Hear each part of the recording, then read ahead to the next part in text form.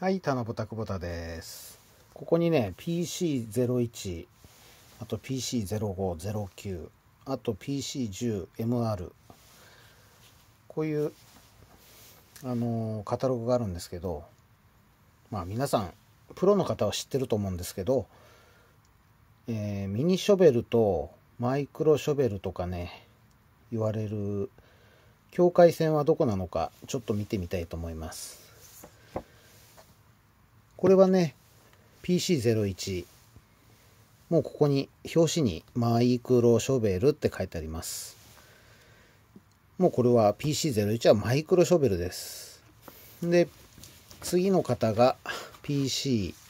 これはね、表紙には書いてないんですね。中を見ていただくと、さあどこに書いてあるでしょう。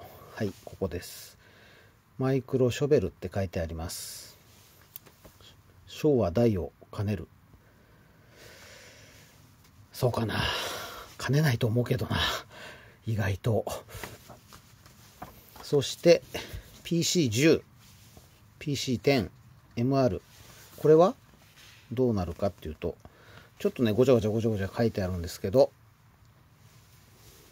ここに書いてあります。ここ。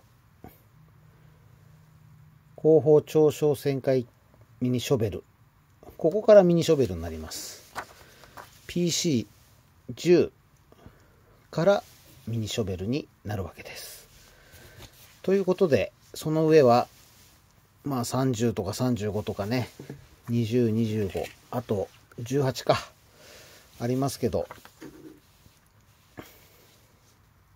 PC09 までがミニ、うんと違う、マイクロショベル。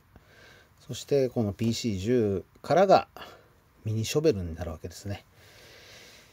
ここからが境界っていうことです。まあちょっとした豆知識っていうことで、えー、マイクロショベルとミニショベルの境界線をちょっとお知らせて、お知らせしてみました。ご視聴ありがとうございます。失礼します。